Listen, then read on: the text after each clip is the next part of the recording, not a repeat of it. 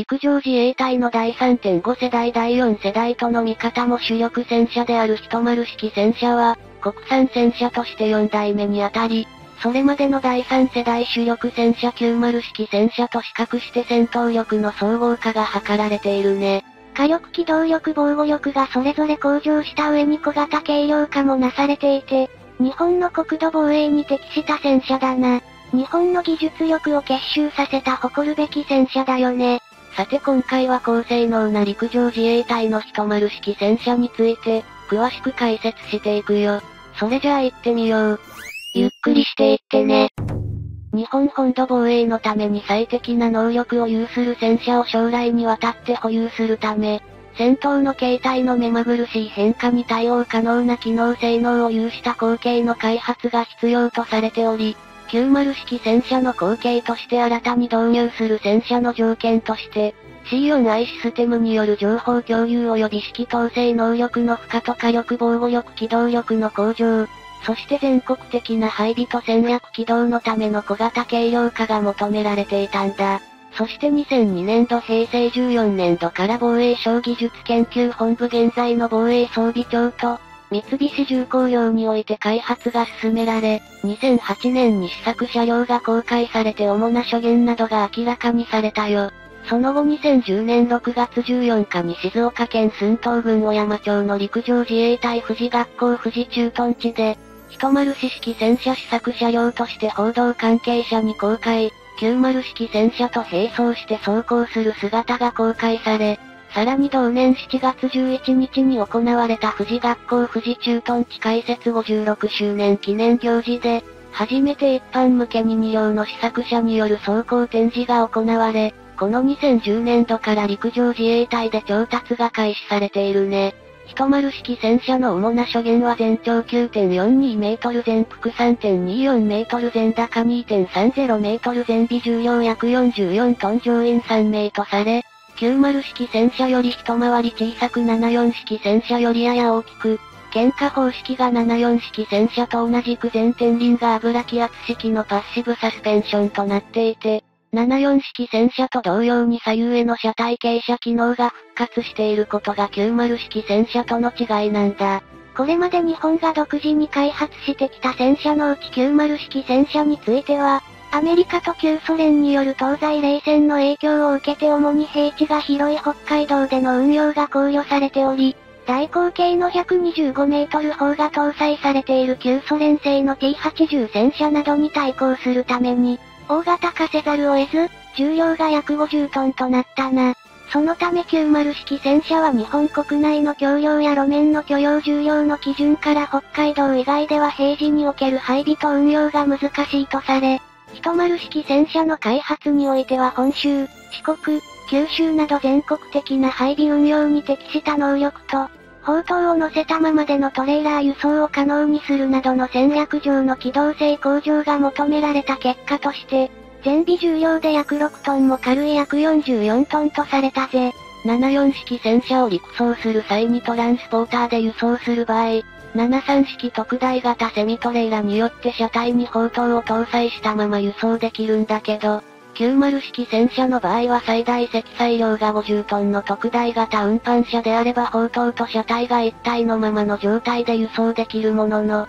最大積載量が小さい73式特大型セミトレーラでは車体から砲塔を分離して下ろし、別々に輸送しなければならなかったんだ。しかし、一丸式戦車では全備重量が約44トンに収められているため、約4トン分の装甲などの装備を取り外すことで砲塔を車体に搭載したまま、73式特大型セミトレーラで運搬することができるようになったってわけだ。さらに近年では全国的に道路交通網が整備され、かつて61式戦車が開発された頃に比べると道路の発展に反比例するように鉄道は地方ローカル線の配線が進み、輸送網として機能しなくなっているぜ。そのため陸上自衛隊では74式戦車の開発以降、戦車の鉄道輸送は事実上断念していて、90式戦車を輸送する場合、専用のトランスポーターで輸送を実施しようとすると道路の許容重量によっては走行できるルートが限られてしまう可能性が大きく、といって舗装道路を長距離自走させた場合には離体キャタピラーや足回りと、路面舗装を傷める可能性が指摘されていたんだけど、10式戦車の設計にあたっては同時代に開発された世界の第3.5世代主力戦車の中では、小型となる40トン級車両とすることによって舗装道路を自走する際の車体と路面へのダメージ低減にも成功したんだよね。戦車において日本全国の主要国道にかかる橋梁約1万9700箇所における橋梁通過率は、重量が約50トンの90式戦車で約65%、55トンから60トンを超える海外の主力戦車では約40%以下とされているけど、この軽量の10式戦車に搭載されているエンジンは1200ス2300アープムを発揮する三菱 8VA34WT 系で、このエンジンは61式戦車以来の水冷4サイクル V 型8気筒ディーゼルエンジンで、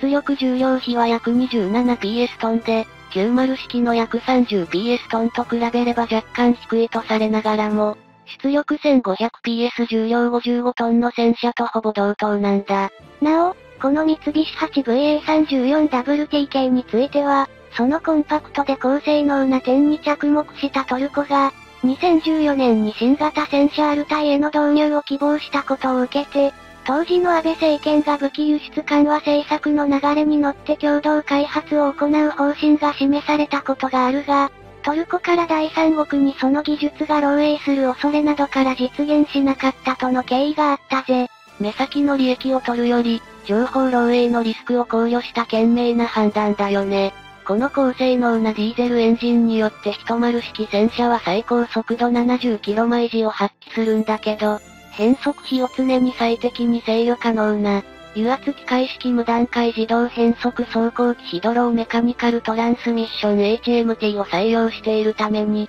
更新速度においても最高速度 70km 毎時を発揮することができ、さらにこの変速走行機によって90式戦車半分の半径で旋回が可能とされ、動力装置の高効率高応答化と小型軽量化が実現され機動性が大きく向上されているんだ。10式戦車手法にはこれまでの44口径 120mm 滑空砲より重量が13%軽減された。日本製高所製の軽量高高圧方針の44口径 120mm 滑空砲が搭載され、さらに将来的には必要に応じて欧米の第3.5世代主力戦車の手法である、55口径 120mm 滑空砲への換装が可能なように設計されているね。また、弾薬の互換性を保持するため、手法の一部に西側諸国に共通のラインメタル社製の 120mm44 滑空砲と共通の設計がなされていて、90式戦車用の砲弾はもちろん、NATO 弾も使用できるとされているな。なお、10式戦車用の砲弾には鉄鋼弾の他に空砲も調達されており、訓練や演習時の使用はもとより記念行事や模擬戦闘などで90式戦車では実施できなかった空砲射撃が可能となっているぜ。砲弾の装填には軽量化が図られた自動装填装置が装備され、砲塔内のベルト式球弾装置によって砲塔後面にある球弾用ハッチから自動装填装置への球弾を行えるんでしょ？そうだね。弾薬を砲塔内で保持する機構は90式戦車では詰型であったけど10式戦車では筒型になっていて、これにより装填中の砲弾の挙動が安定し、不正地を走行しながら戦闘時の装填安定性向上や、より早く装填することが可能となったんだ。また、副武装は砲塔上面の車徴用潜望鏡上部に旋回式の 12.7mm 重機関銃 M2 と、四方と同軸に74式車載 7.62mm 機関銃が装備されているよ。10式戦車の装甲には正面に複合装甲が採用され、その他の防弾板には結晶流微細化鋼板と呼ばれる鋼板が採用されており、増加走行も含めて高い防御力を維持しながら軽量化が図られているな。そして10式戦車最大のポイントは、陸上自衛隊戦車に初めて搭載された、C4i システムコマンドコントロールコマニケーションズコンピューターズインテリジェンス式統制通信コンピューター情報、というネットワークシステムで、10式戦車ネットワーク 10NW と呼ばれるこのシステムは、ここの戦車内部だけでなく小隊や中隊単位の一丸式戦車同士が相互に情報を共有伝達することが可能で、例えば指揮官車の各種指示を全隊員が確認可能なモニターで共有するほか、車両間においてリアルタイムで射撃データを共有したり、各車の燃料残量や損害などを把握したりすることが可能となっているだけでなく、開示や空示とのデータ共有なども可能とされ、自衛隊員の間では走るコンピューターなどと呼ばれているというよ。それじゃあ今回はこの辺で、よかったら、チャンネル登録してね。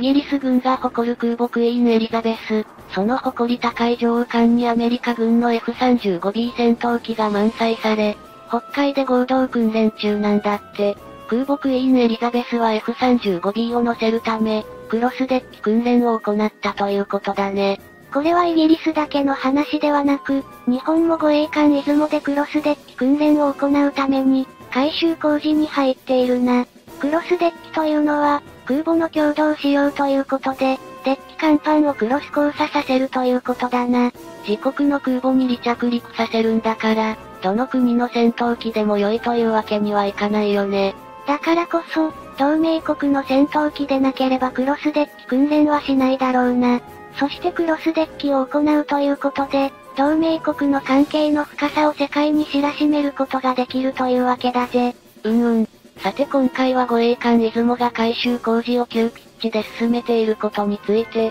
詳しく解説していくよ。それじゃあ行ってみよう。ゆっくりしていってね。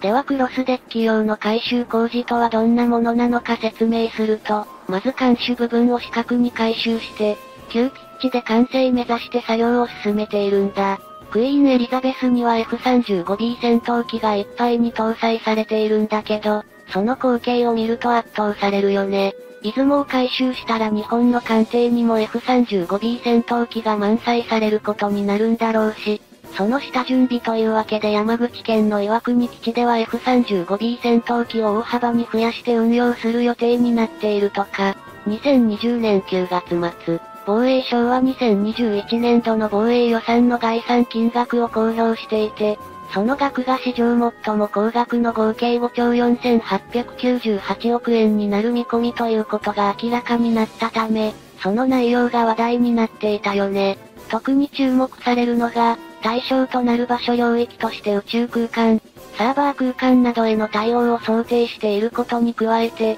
電磁波など新規分野も網羅しているということで、これは今後の防衛の方向性を示すものと言えるんじゃないかな。現実の地上や海上、海中での戦闘ではなく、コンピュータ上でボタン一つで勝敗が決する戦争の時代が身近に迫っているような気がするし、敵の名前も顔すら知ることなく、倒せるというのはバーチャルだけかと思っていたけど、現実世界でもあり得ることらしいね。そうなったら、戦争というものに対して無感動に対峙する人間が増えていくことになるのではないかと不安に感じるよね。さて、前述のように新しい分野への対応もしつつも、同時に現在の事態への対応も必要で、その対応と考えられるんだけど、現有のヘリコプター搭載型護衛艦出雲、加賀に本格的な航空母艦化工事を行うため、231億円という高額な具体的回収費用が盛り込まれたところも注目されるポイントとなったよ。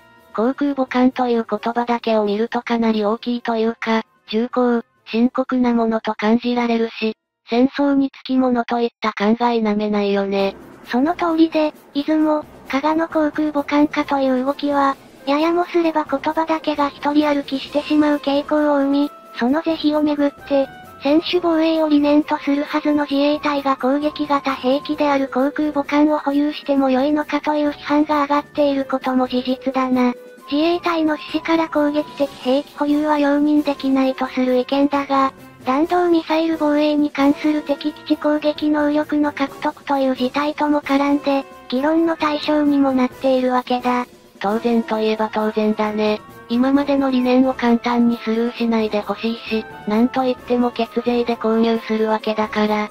っかりとした誠意ある説明は絶対必要だと思うよ。言葉としての攻撃的兵器というレッテルなら、すでに海事の主戦力として欠かせない潜水艦は、軍事上の種別では攻撃型潜水艦と呼ばれているから、これも問題なのかという反論が上がっていて、要するに、艦艇や航空機、車両など兵器自体というより、実装する兵装武器によってどんな風にも運用できるんだから、それをスルーした批判は無意味ではないかという反対意見も湧き上がったね。ここで改めて考えてみると、2隻の護衛艦出雲と香川航空母艦として回収し、F35B ライトニング2戦闘機を艦載機として搭載することは、南西諸島方面に圧力を増しつつある中国海軍に対する強力な抑止力になるだろうという期待感もあるようで、この F35 ライトニング2戦闘機は、高度なステルス性能を持つ戦闘機だから、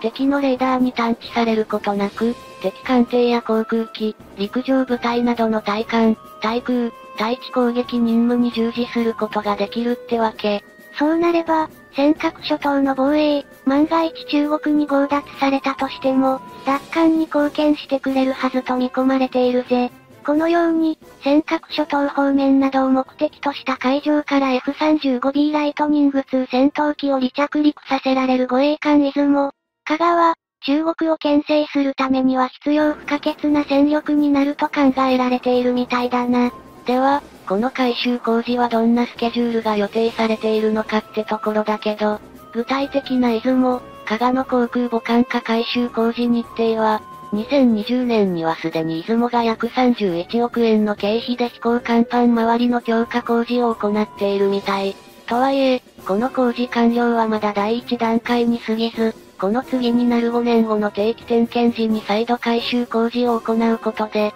やっとすべての航空母艦化改修工程が終了することになり、ここでようやく F35B ライトニング2戦闘機の運用可能というわけだね。こういったスケジュールだから、従来は2021年に大規模定期点検に入る加賀が一度に改修工事をすべて終了し、出雲より先に航空母艦化が完了するというのが一般的解釈だったんだ。だけど、今回2021年度の防衛費の概算要求内容を見ると、加賀の回収も2度に分けて行うということが判明していて、1度目は約231億円の経費で飛行甲板を拡張する大規模な工事となるということが分かったよ。その理由だけど、現在の香川垂直離着陸で運用されるヘリコプターのみに対応した船体で、それを短距離離陸垂直着陸が可能な F35B ライトニング2戦闘機を運用するために、飛行甲板を広げる必要があるということでの工事ってわけ。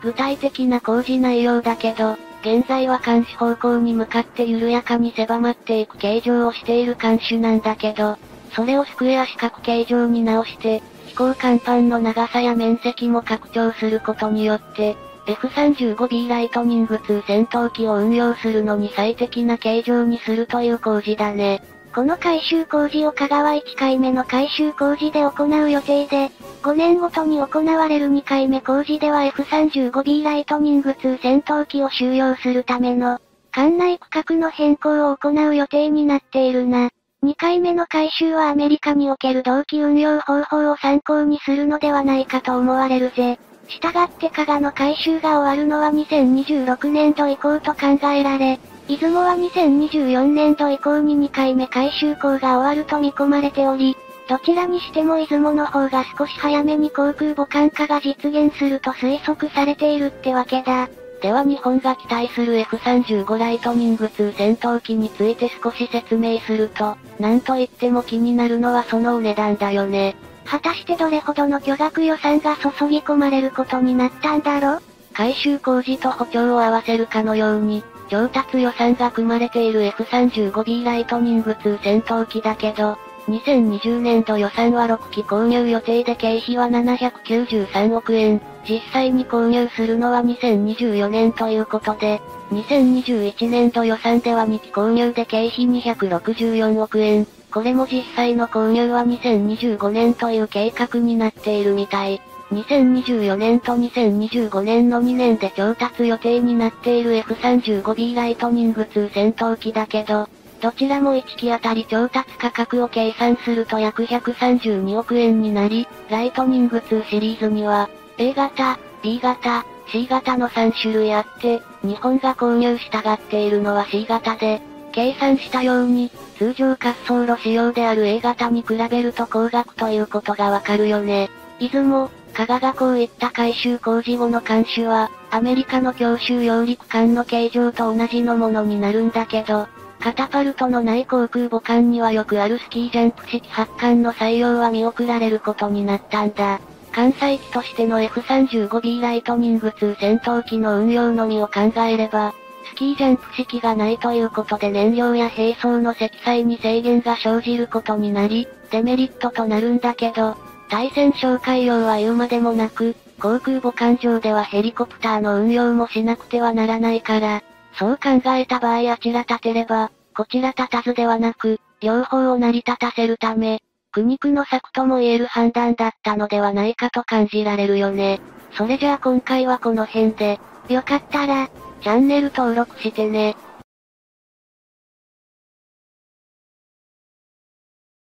中国海軍の航空母艦といえば、一番艦で練習用とみなされている遼寧が近年は日本の近海にもたびたび進出するなど、同国海軍が自国の沿海域を超えて西太平洋に勢力を拡大するための象徴的な戦力と位置づけていることが感じられるよね。遼寧は旧ソ連時代に建造中であった同国の未完成の航空母艦を、最終的に所有権を有したウクライナから中国がスクラップと名目を偽って入手し、完成させて自国の初の航空母艦として収益させたことでも有名だな。中国の軍拡の動きは侮れないよね。どんな状況になっても対応できるように、日本側も備えておく必要があるよ。さて今回は、中国が遼寧、3トンに続き3隻目の復権を浸水させたことと、電磁式カタパルト搭載の件について詳しく解説していくよ。それじゃあ行ってみよう。ゆっくりしていってね。中国はこの遼寧を完成させた経験をもとに国産都としては初建造で、海軍としては2隻目の航空母艦3トンもすでに2019年末に収益させ、航空母艦戦力の拡充を図っており、こちらも海洋進出の強化を印象づけているよね。しかし遼寧、山東の2隻はいずれも STOBAR Short Take Off But Arrested Recovery 方式での、艦載機の運用を行う航空母艦であり、艦首部にはスキージャンプと呼ばれる傾斜が付けられているんだ。これは STOBAR 方式が日本語では短距離離陸拘束着艦と訳されることからもわかるように、艦載機ができるだけ短い距離を自走しスキージャンプ勾配を利用して離陸し、着艦はアレスティングワイヤーを使用する形式のものだな。このストーバー方式は発艦に強制的に関西機を加速させるカタパルトを使用しないため、その開発技術やノウハウを持たない国の海軍の航空母艦でも用いられているが、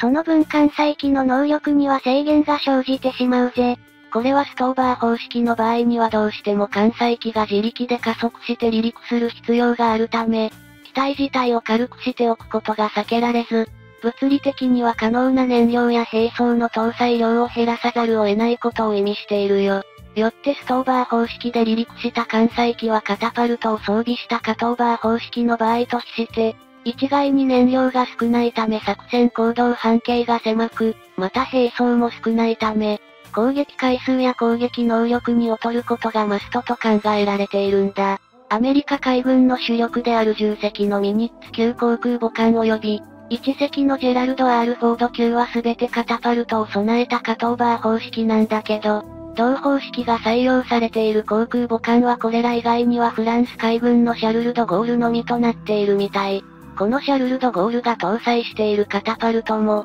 アメリカが同盟国として技術援助を行っていることで実現されているものであり、事実上これまではカタパルトの製造や運用技術はアメリカが独占していると言って良い状態だったんだ。これらのカタパルトの中でミニッツ級やシャルルドゴールが搭載している形式が蒸気式カタパルトであり、映画トップガンでアメリカ海軍の航空母艦から F14 や FA18 等が離陸する際に描写されたものだね。これらの映画の画面でもわかるように、蒸気式カタパルトは文字通り蒸気をその力として動作しているため、関西機の離陸時にはかなりの量の水蒸気が飛散されることを目にしたという方も少なからずいると思うよ。アメリカ海軍のニミッツ級航空母艦はこの蒸気式カタパルトを艦首に向けて2機、アングルドデッキ上に2機の合計4機を備えているけど、動力となる蒸気を通すため非常に多くの配管を艦内に張り巡らせているんだ。その蒸気用の配管の維持メンテナンスにも膨大な労力がかかるであろうことは想像に難くなく、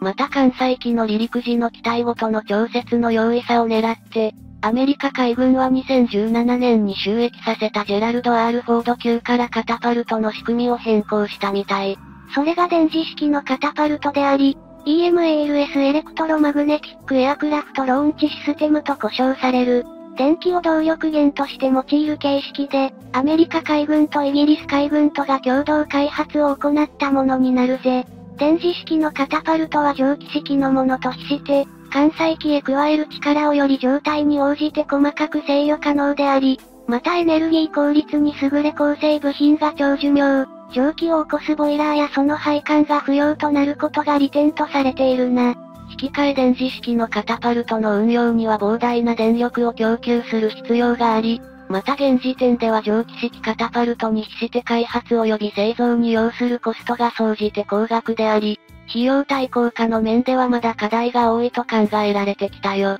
しかもこの電磁式カタパルトを搭載した初の航空母艦であるジェラルド・アールフォードは2017年に収益を果たしたものの、同システムや他の並走搬出用のエレベータなどのトラブルが相次ぎ、戦力化にはかなりの時間を要しているみたい。まだまだクリアしないといけない課題がたくさんあるってことだね。こうしたジェラルド・アールフォードでの失敗の教訓を活かし、以後のアメリカ海軍では艦艇への新規軸の搭載はある程度に限定しつつ進めていく方針を打ち出しており、安定した移行を図ることを優先するんだって。このようにアメリカ海軍ですらもその導入と実る運用に手を焼いた電磁式カタパルトなんだけど、中国海軍では2022年6月に浸水を行った3隻目の航空母艦福建に、これまでカタパルトの運用実績すらないにもかかわらず搭載すると明言しているんだ。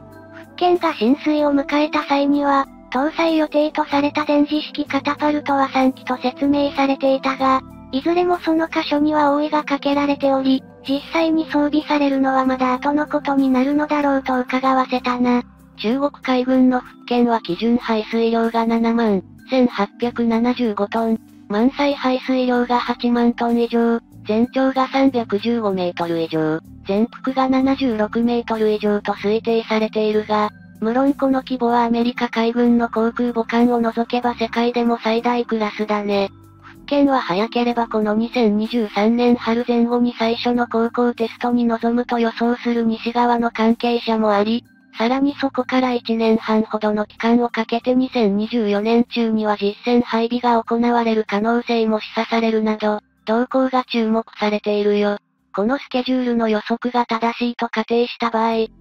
県は来年の2024年には電磁式カタパルトを含む関西機のカトーバー方式での運用能力を獲得することが必須となるけど、個人的にはこの流れがスムーズにいくのかには疑問を禁じ得ないね。まずは当然のことながらあのアメリカ軍でさえも想定通りに稼働させることに時間を要した電磁式カタパルトそのものについてであり、いかに中国が様々な技術を模倣しコピーする国といえどそれが今から1年ほどで可能かという点だと思う。次にカトーバー方式用の関西機の準備の件があり、これまでストーバー方式の機体しか運用してこなかった中国が、これまでも報道はされてはきたが戦闘機をはじめとし、早期完成機等まで網羅する形にできるのかという部分だな。そして最後には福建はこれまでの中国の航空母艦と同様に通常動力型であり、非常に大きな電力を必要とする電磁式カタパルトの運用をその仕様で実用化できるのか、という点で決してそれは容易ではないと考えるためだぜ。これらをまとめなければ電磁式カタパルトそのものの完成、搭載する各種艦載機のストーバー方式への対応、通常動力型である福建の電力供給能力という3点から、その2024年内での収益は困難なのではないかと個人的には思えるんだ。いずれにせよ中国側がまず予想されたように、この2023年の春から復権の公開テストに着手できるのか否かが鍵となると思われるが、この2023年3月の段階でも今のところそうした動きは少なくとも報じられてはいないね。それじゃあ今回はこの辺で、よかったら、チャンネル登録してね。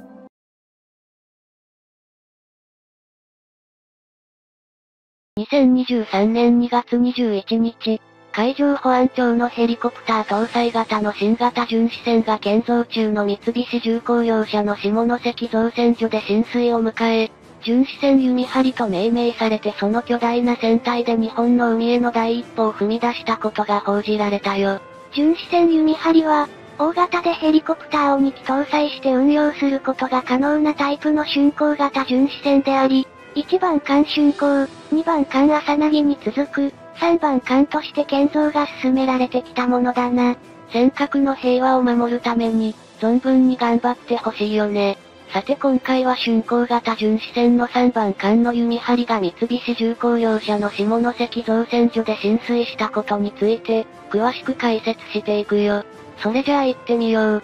ゆっくりしていってね。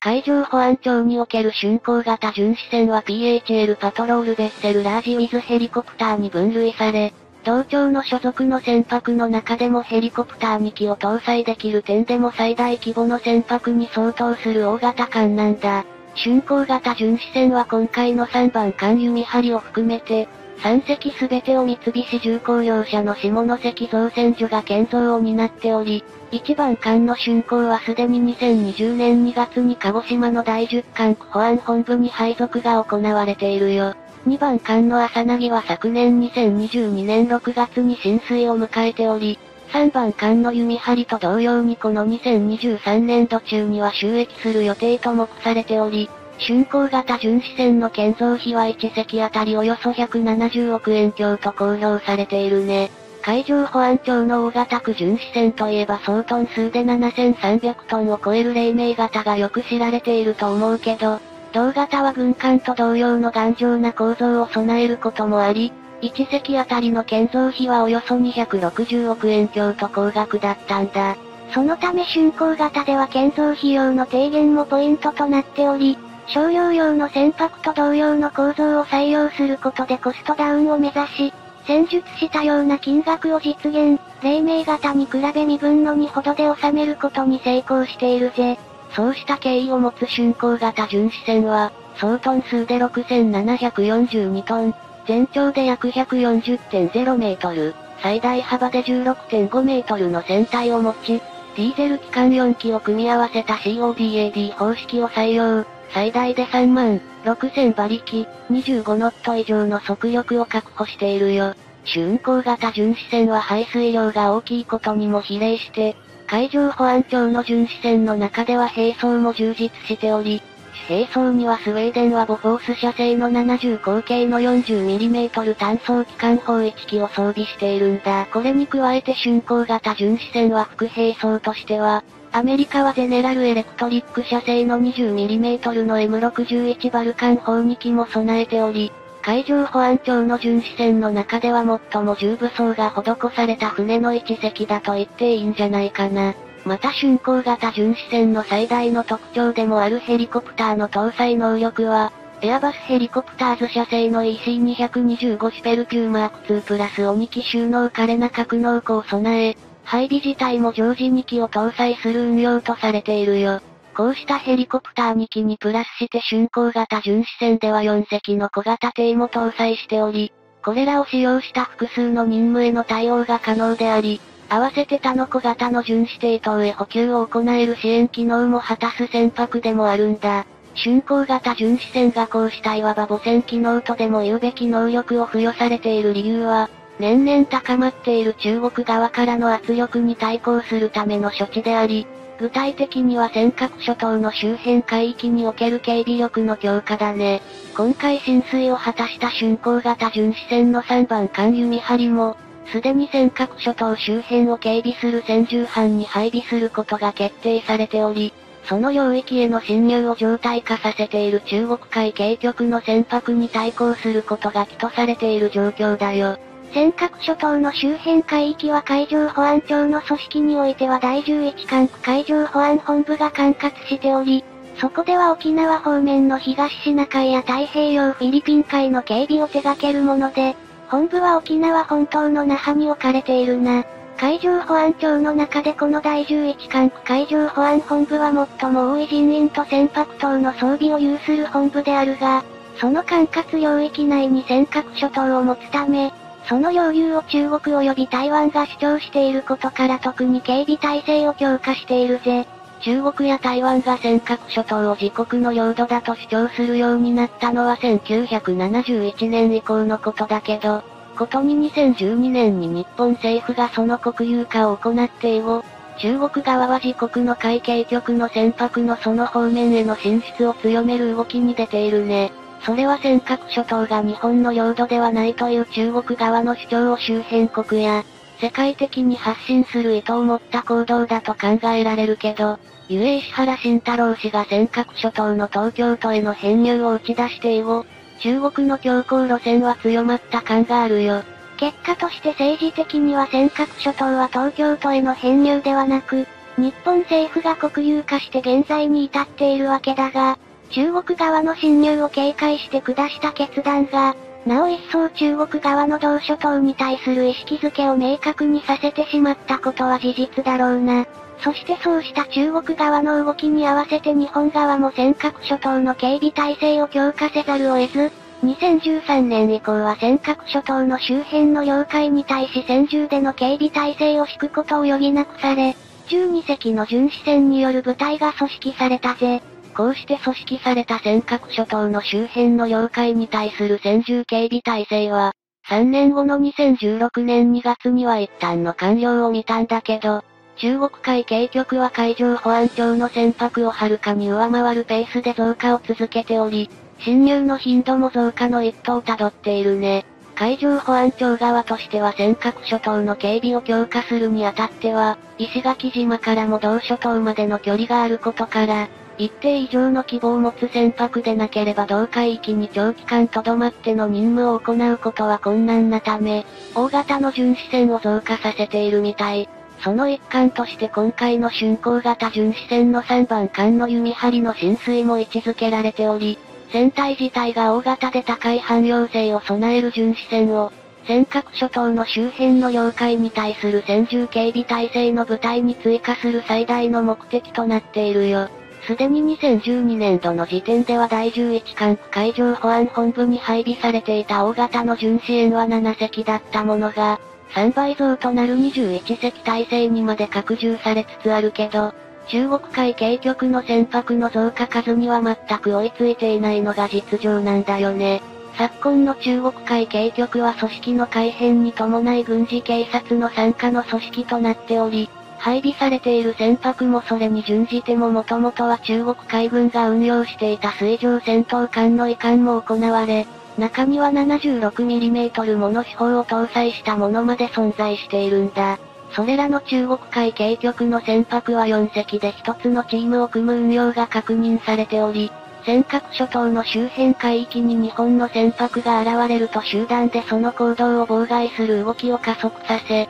事実上日本の漁船の自由な操業を困難にしているってわけ。そうした現状にあろうことか日本の海上保安庁の対応が弱腰であるとの批判の声も一部からは上がってきているが、この尖閣諸島の問題は国家試験をかけた純然たる政治課題であり、現場の海上保安庁の判断に着せられることでないことは明白だろうな。中国はこうした尖閣諸島に止まらず、台湾や南シナ海においてもその領有を主張して周辺国との圧力が絶えないんだけど、経済力を背景に海軍や中国海警局の増強を続け、その実力をもって自らの主張を押し通そうとしているみたい。にもかかわらずなぜか日本の大手のマスメディアの中には、未だ露骨な反米親中の思想やイデオロギーを声高に叫ぶ人物たちの主張を繰り返し掲載するものがあり、未だその傾向はやむことはないと実感させられるよね。個人的で主観的な意見を述べることを許してもらえるのなら、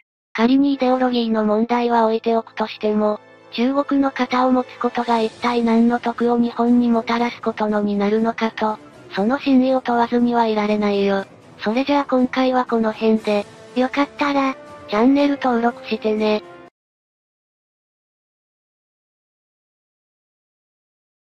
2023年3月中旬の3日間、千葉県千葉市の幕張メッセにおいて DSEI Japan 2023という展示会が開催されたことを、みんなは知っているかな？ここでは日本の防衛関連企業や海外の軍需企業も参加しての、防衛及びセキュリティの分野の様々な内容が展示されたぜ。軍事マニアたちにとっては目の色が変わる催しだっただろうね。さて今回はそんな DSEI Japan 2023について、詳しく解説していくよ。それじゃあ行ってみよう。ゆっくりしていってね。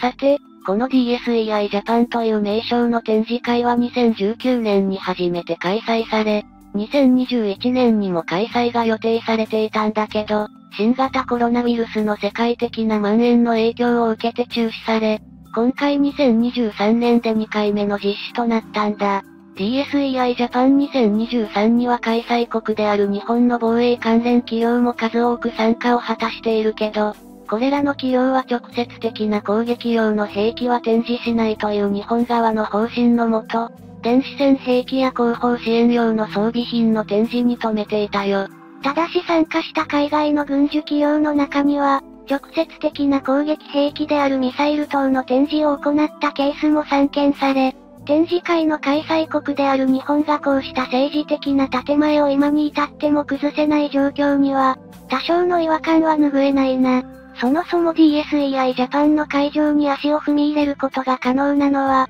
観光庁や防衛産業の関係者、並びに安全保障関連の研究に重視している人物に限定されており、内々の関係者しか直接見ることはできないようになっているぜ。それを考慮した上で、他国に日本の防衛産業の製品が直接の攻撃に使用される兵器を実際に販売可能か否かは、日本の現行法や政治的な判断に委ねるべきものであり、展示の有無によるものではないとしか個人的には思えないな。さてそんな今回の DSEI Japan 2023だけど、やはり会場でひときわ注目を集めていたのは、日本とイギリスとイタリアとで共同開発される運びとなった、次期戦闘機の模型とそのプロジェクトに参加する各国の主要企業だろうね。日本においてそれは三菱重工業者、IHI 社、三菱電機社などであり、イギリスは BAE システムズ社、ロールスロイス社、レオナルド UK 社、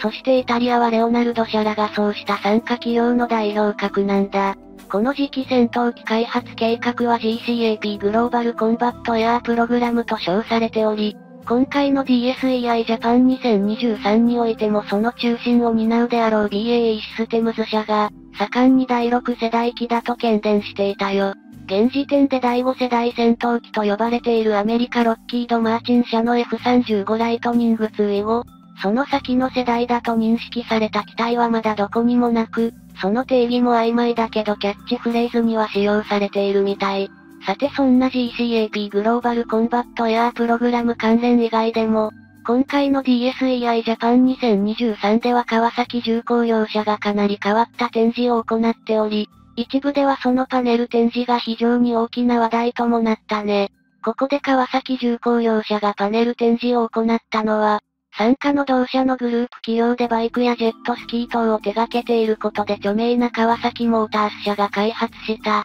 ニッケル水素を用いた二次電池の新たな用途についてなんだ。この川崎モータース社のニッケル水素を用いた二次電池は製品名をギガセルと称するんだけど、今回川崎重工業者は DSEI Japan 2023においてその用途として、航空母艦の電磁式カタパルトの動力源とすることを提示したみたい。航空母艦のカタパルトといえば、それらの艦艇から艦載機である機体を強制的に加速させて射出する機構であり、機体自身が自らのエンジンの出力によって発艦する場合に比して、より短い滑走距離でそれを可能とする仕組みだね。また距離的な問題に止まらず、発艦する機体に対してより多くの燃料や兵装などを搭載した状態で発艦させることが可能となるため、機体の持つ航続距離や攻撃力を向上させる装置として、アメリカ海軍等の艦艇で運用されているぜ。実際にはこの2023年3月においてカタパルトを装備し実戦配備された航空母艦というのは、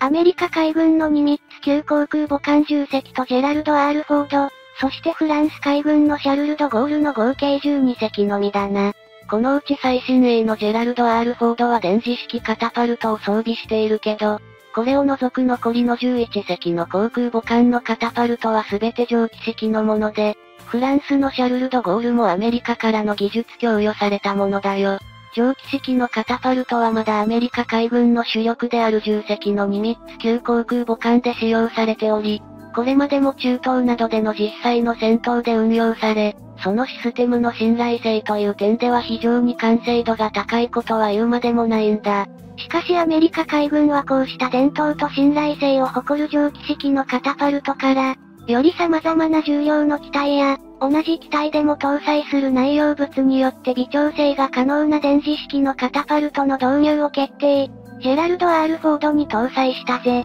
ただし2017年に収益を迎えたジェラルド・アールフォードではあったが、電磁式のカタパルトをはじめ初めて導入された新機軸の装備が他にも多数あったことも影響し、事実上は2022年までの5年間は実稼働状態とは言えなかったな。アメリカですらきちんと稼働させるのに時間がかかっているんだね。それほどまでに、かのアメリカ海軍ですらも実用化に時間を必要とした電磁式のカタパルトだけど、中国海軍は2022年6月に浸水させた同海軍3隻目の航空母艦の復権にそれを装備すると世界に向けて喧伝しているよ。心意気は認めるけど、中国には難しい気がするよね。電磁式は言うに及ばず、カタパルトの装備自体が初となる中国海軍の航空母艦において、それが実際に可能なのか否かは、今年2023年春先からと予想されている復権のテストの進捗を見てからでないと、なんとも言い難いように思えるね。ちなみに中国はこうした復権のような航空母艦に限らず、今後は航空機を運用可能な強襲揚陸艦等にもカタパルトの搭載を推進していく方向だとみなされており、復権のテストはそれらにも大きく影響を及ぼすだろうな。それは今後の軍事的な潮流としても、強襲揚陸関東に無人航空機を艦載機として運用することへの後押しとなる可能性があり、有人機よりもはるかに軽量な無人機の艦載機かとその運用を占うものとなるのかもしれないぜ。さてアメリカ海軍のジェラルド・アール・フォードだが、そこに搭載された電電磁式のカタパルトは、イギリス海軍との共同開発によってゼネラル・アトミックス社が実用化したもので、仕組みとしては EMAS と呼称されているよ。この電磁式のカタパルトイーマースは、主として4つの要素を持つシステムで構成されており、それはモーター、バッテリー、コンバーター、制御システムで、その中でもバッテリーにはフライホイール形式が採用されているんだ。フライホイールバッテリーとは、充電や放電を行うに際して化学反応を媒介させてそれを行う蓄電池と異なり、構造がシンプルで耐用年数が比較的長く、加えて整備性が高いことが利点として挙げられているな。川崎モータース社のニッケル水素を使用するギガセルアムロン蓄電池に該当する製品なんだけど、すでに路面電車等への採用や各種の蓄電用の設備に実績を持ち、大容量でかつ高速の重放電に対応し、環境にも優しいとされているみたい。日本で軍事用に使用されている蓄電池といえば、最新鋭の体芸型潜水艦にも搭載されているリチウムイオン電池が思い浮かぶが、ニッケル水素電池はこれに対し、大きく重く重放電時間も長いが非常に低コストだと考えられるよ。軍事用として見た場合、コストの安さには価値はありそうだけど、運用上で重放電時間が長いというのはかなりのデメリットであり、果たして川崎重工業者が唱えるように電磁式のカタパルトの電源足りうるのかは少し疑問にも思えるよね。それじゃあ今回はこの辺で、よかったら、チャンネル登録してね。